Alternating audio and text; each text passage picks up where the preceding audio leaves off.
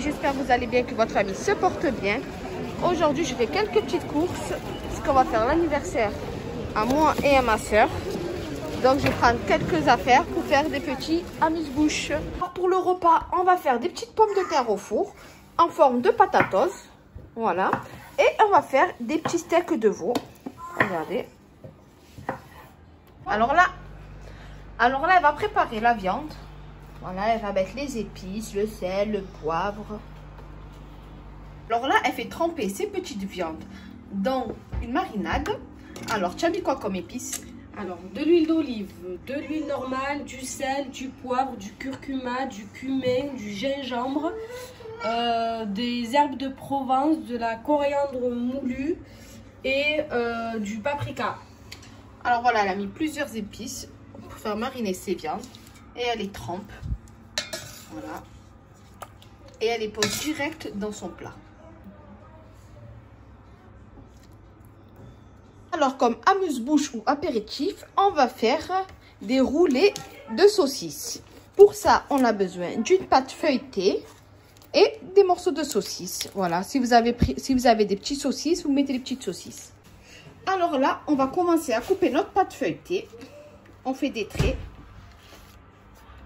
partout. Dans toute la pâte feuilletée, on fait des traits. Ou si vous n'avez pas de pâte feuilletée, vous pouvez faire avec la pâte brisée. Hein. Hop. Voilà. Voilà, ça c'est vraiment des petits apéritifs faciles et rapides. Alors voilà, après avoir coupé ma pâte, on a coupé des morceaux de saucisse et on va commencer à les rouler.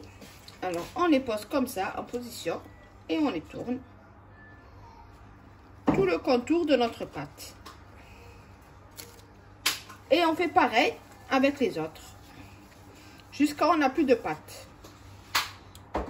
Voilà. Alors là, on badigeonne nos petits roulés de jaune d'œuf. Voilà, on les met bien partout. Pour qu'après, on puisse mettre nos petits graines de sésame ou graines de pavot.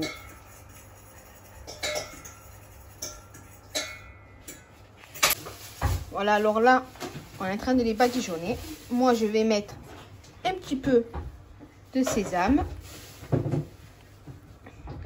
Moitié sésame et moitié gingembre.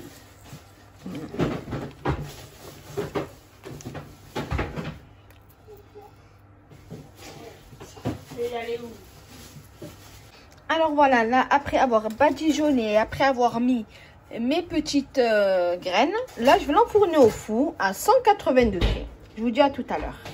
Alors, le deuxième amuse-bouche, on va faire des verrines avocat saumon. Là, elle prépare les petits avocats. Pour sa verrine saumon avocat, elle va mixer ses petits avocats. Elle a rajouté du sel, du poivre, de l'huile d'olive et une moitié de citron. Du jus de citron. Donc, du coup, là, elle a rajouté du fromage frais. Vous pouvez mettre n'importe lequel, mais il faut que ce soit un fromage frais. Voilà, là, elle a mixé. Et elle va faire pareil avec le saumon. Alors, dans une poche, elle a mis sa crème avocat pour les mettre dans les verrines. Qu'elle va rincer, sécher et les remplir. Et elle prépare une deuxième poche pour le saumon et fromage. Alors, elle commence à remplir les verrines. On fait un côté, on met de la crème avocat. Côté, en haut, ça va être de la crème au saumon.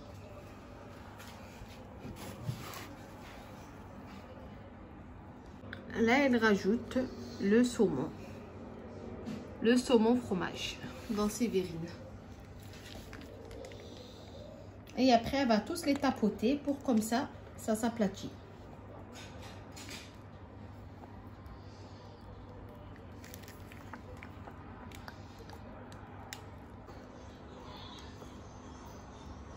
Alors verrines, avocats, saumon, ils sont prêtes, ils sont finis. Regardez. On a rajouté un petit morceau de saumon, des petites épices. C'est magnifique. Maintenant, à mettre au frais et à déguster. Là, on va passer à l'étape des croque-monsieur. On va mettre de la crème béchamel partout. Voilà, je fais quelque chose de vite fait. Hein. Sinon, la crème, vous pouvez la faire vous-même. Hein. Et on étale.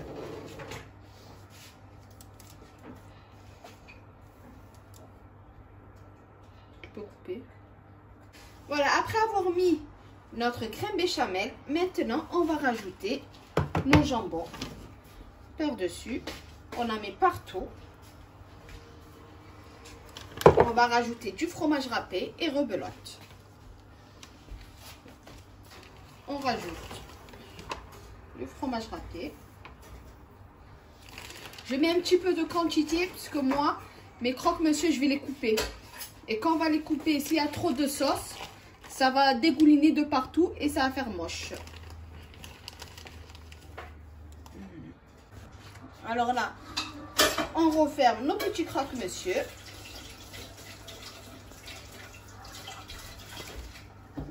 Alors là, on rajoute de la crème béchamel et on rajoute voilà mes croque-monsieur, direction le four à 195 degrés.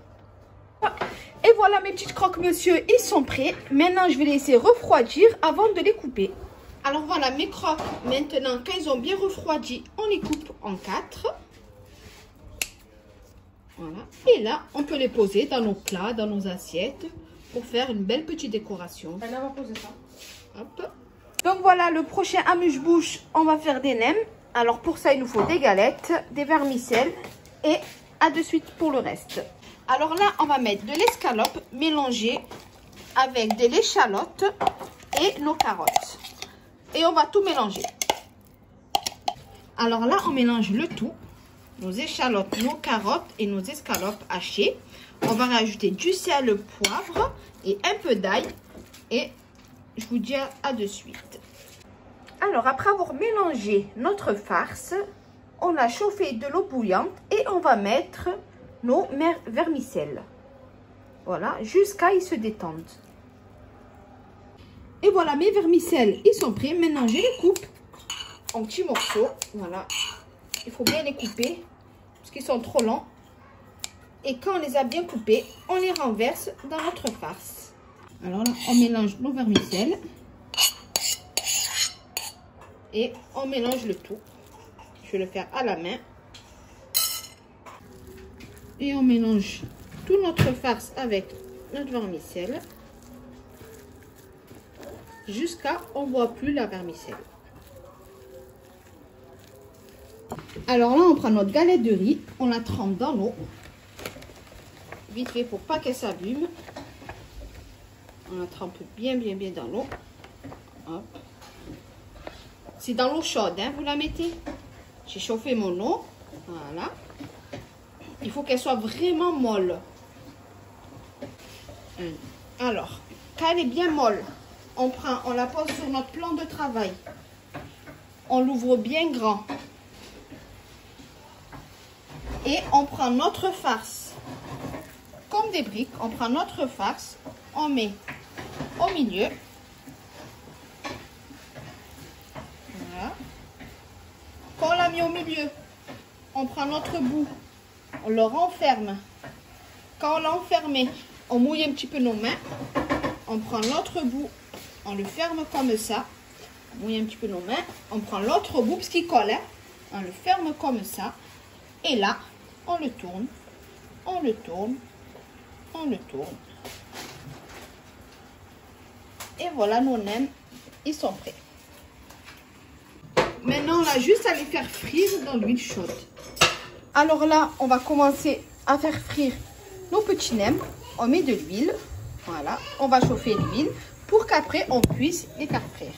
Et voilà, là on fait frire nos petits nems.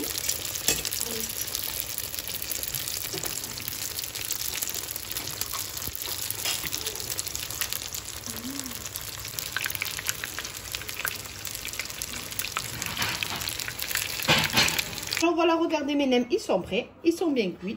Quand vous voyez qu'ici, Et ici, ils sont foncés, ça veut dire c'est cuit. Et là, je les pose dans mon assiette pour bien décorer. Voilà. Pour que ça fait beau. Et voilà les amis, les hbabati. Les nems, on peut les déguster avec la sauce. Voilà, ça c'est une sauce. J'ai acheté chez les Chinois. Vous pouvez déguster vos nems avec, vous le trempez, vous le mangez. Là, la préparation de tiramisu au chocolat qu'elle va mettre dans les verrines. Alors là, elle monte ses verrines de tiramisu. Elle a mis des spéculoos dedans et elle renverse sa crème de tiramisu au chocolat.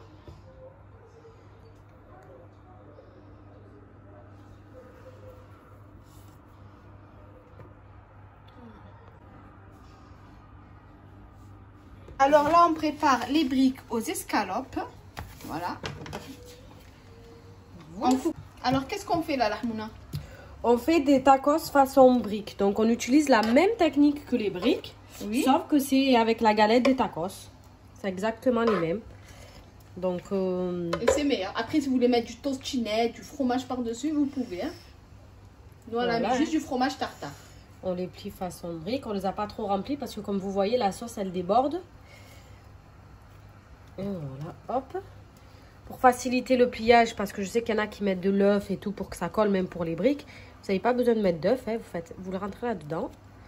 Et vous le fermez. Et voilà, et vous savez qu'à la cuisson, ça va pas s'ouvrir. Pour les briques, je parle. Alors, petite alternative pour les personnes qui n'ont pas de, de machine euh, à tacos exprès.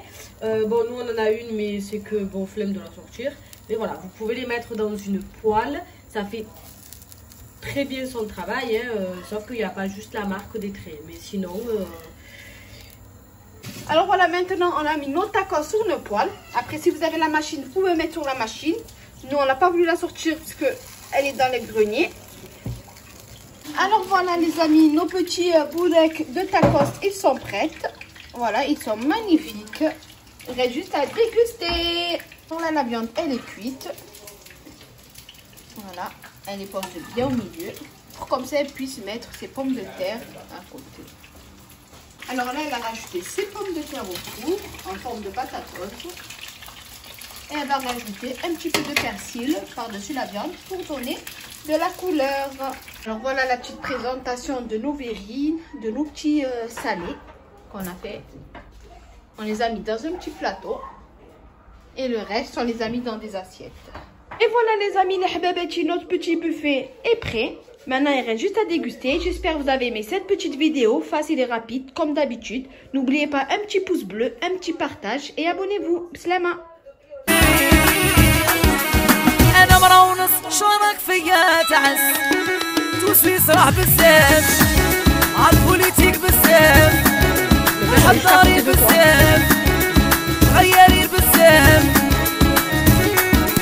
وروحهم إيه. وصلوا كانوا فينا يحاولوا. سحارين بزاف بدو يجيبوا بزاف. يا توسويس راح بزاف.